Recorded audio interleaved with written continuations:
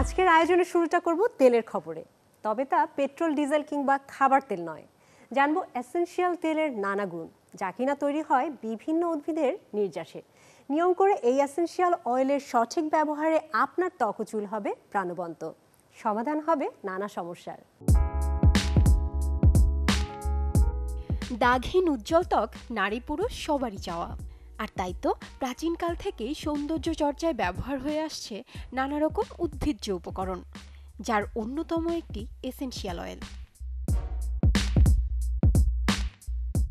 জানেন কি? ত্বকের যত্নে এসেনশিয়াল অয়েলের সঠিক ব্যবহার ব্রণের দাগ, বলিরেখা, রুক্ষতা কাটানোর পাশাপাশি বাড়াতে পারে ত্বকের জেল্লা এসেনশিয়াল অয়েল যেটা first layer that is I am selling সেই, এই জিনিসটা বলার এই জন্যই, এইটা হচ্ছে যে কোনো স্কিন যার ড্রাই যার হচ্ছে খুব অয়েলি যার কম্বিনেশন ইন বিটুইন সে কিছুই করে না নাও করতে পারে একদম কিছু করছে না। Any one can use it যদিও অনেকেরই ধারণা এসেনশিয়াল অয়েল মানেই নামি দামি বিদেশি ব্র্যান্ড আর যা কিনতে খরচের অঙ্কটাও নেই সাধ্যের নাগালে। তবে কেউ কেউ বদলাচ্ছেন এমন ধারণা। This is a very light weight oil cold press essential oil. If you are looking for a good facial oil, authentic facial oil, then no game of nature.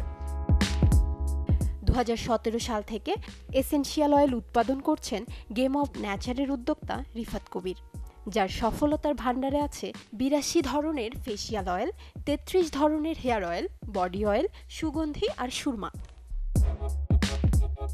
দেশে তৈরি এসব তেল ব্যবহৃত হচ্ছে বিভিন্ন স্পা ও অ্যারোমা থেরাপিতেও শুধু তাই নয়, দেশের গণ্ডি পেরিয়ে বাংলাদেশের এসেনশিয়াল অয়েল এখন জনপ্রিয়তা পেয়েছে ভিন দেশেও।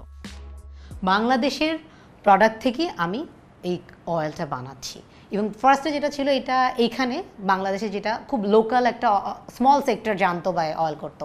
এখন যেরকম ইট ইজ লাইক ইন্টারন্যাশনাল বলতে পারেন। এখন আমার আউটসাইড অফ বাংলাদেশ এটার ডিমান্ড অনেক বেশি।